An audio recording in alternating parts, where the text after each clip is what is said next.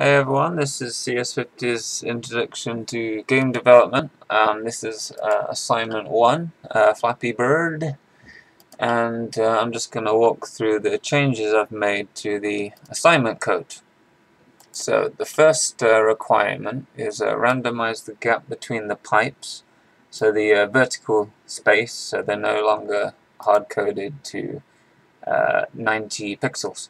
So the line here in uh, pipe pair, uh, line 27, I've uh, I left a comment here so it's kind of easier to see. So here I'm just using math.random and I'm generating uh, a figure between 90 and 150. Um, I thought going smaller than 90 made the game really hard, especially for me, so it's just randoming between these two. I thought that was a, a pretty good vertical height. That's the only change I made for that.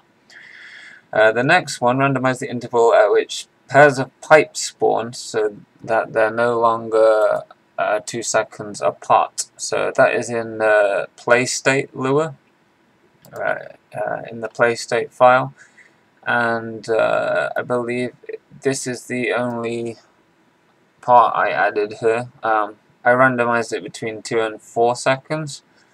Um, yeah, just just so it could be two, three, up to four. Um, I, I, thought it was better to have them more spaced out than uh, close together. No, no real reason, but um, yeah, it's randomizing that now.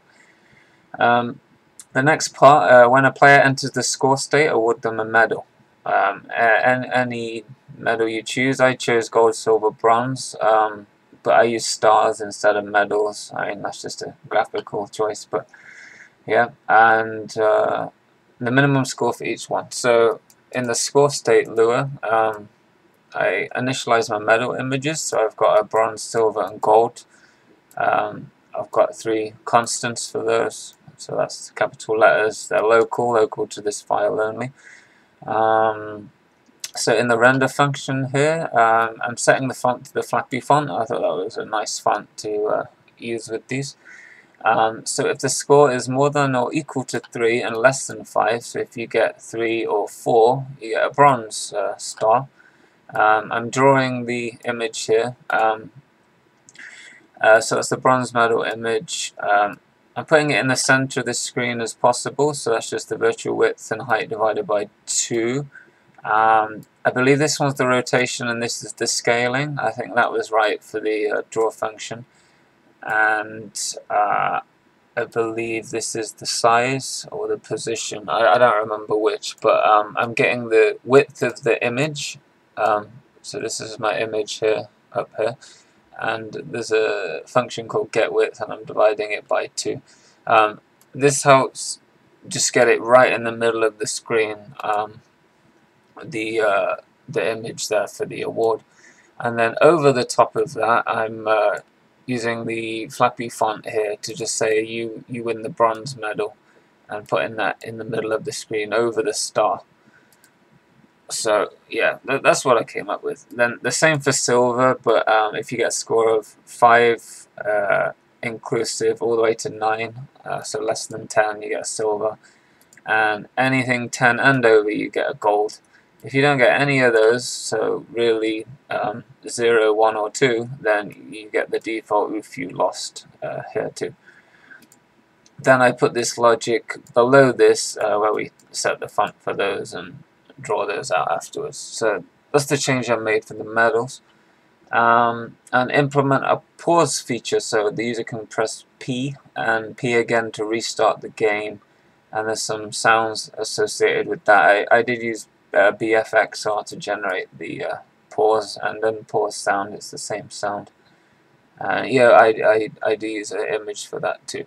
So in main.lua, um, here we go, variables to handle game pausing. Um, so I put the scrolling variable in here and also give myself a pause image so they're local to main and uh, we're gonna this is mutable so obviously it's lowercase and this is a constant so that's uh, uppercase there then if I search for pause then I can I use quite a lot of comments so I can just find the code easily this way so I added a, a sound to our sounds table uh, pause um, pause.wav that's our pause sound I'm going down again So in love.update, um, we're handling the game pause, and I thought this was a good feature. It should only work when in the play state, so I'll, I'll cover that um, right now actually.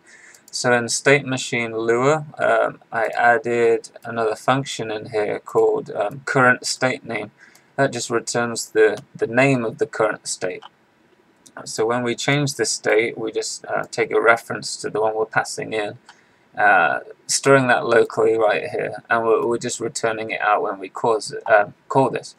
So in main, we can say um, when P is pressed, and we're in the current state of play, so we're only in the play state because we don't want to pause the game on the title screen, the countdown screen, or the uh, score screen. Uh, so that's pretty cool. So if it's scrolling at this time, that's the local variable I discussed uh, earlier. So if we're currently scrolling, then we want to play the pause music sound. Um, we want to pause, uh, sorry, we want to pause the music sound. Uh, this is the function I looked up online in order to do that, sorry. Uh, then we want to play uh, the pause sound and we want to toggle the scrolling um, variable. So it's just scrolling is not scrolling, so it'll be the opposite. And then we end that out here. Uh, underneath I, I just said if we're actually scrolling then continue with the kind of rendering of the game. So at the moment we're not scrolling so it'll skip over that and the background and foreground will all freeze and then underneath draw using our scrolling variable again so if we're not scrolling then this is where we have the image for um, pause image here. So uh, I explained this from the score state Lua um, how we center the image uh, right here. And then over the top using the flappy font um, and we're just saying game paused um, so when we press P again, and we're in the play state, which we will be, um, then this time, uh, on our second press of P, uh, we're going to resume the music. We're going to play the pause sound again, which is also the unpause sound. Toggle the scrolling, so that uh, the scrolling will now be true. Uh, so then we're going to resume the scrolling of the background and the foreground and anything in the update methods of the our state machine. And then in the draw it's going to skip over this because we're no longer in a pause state. So that's how I implemented the pause. Um, originally I tried to add a pause state because um, I thought that was the way it was going to be. I enter a pause state I come out of it but then I realized uh, when I change this it actually exits the previous state which I sort of overlooked. Um, so if we have a pause state, then the game just restarts when you unpause. So um, yeah, something I, I, sort of explored there, but uh, I felt this was the easiest way with the state machine logic we have in right now. Yeah, so if I run the game, just drag that over here. Up a bit, awesome. So press enter. So pause, game pause, unpause, continue. Now you can see a pipe in the screen. Pause, pause. So we're going well. Let's see if we can get a bronze medal. So you can see the vertical spacing between the pipes is changing each time. This one's a small one. Really bad at this game. let's try and get a silver medal. Okay. So there we go, you, you win the silver medal. A star, star medal, yeah, you again. And you notice if I press P now, it's not pausing the game, so, and again, it won't pause it until we're in the play state, so. Yeah, that, that should be all the requirements for assignment 1, uh, Flappy Bird. Uh, I hope you enjoyed watching it, it was, it was quite fun actually to, uh, to uh, yeah, add those things. Uh, thanks for watching.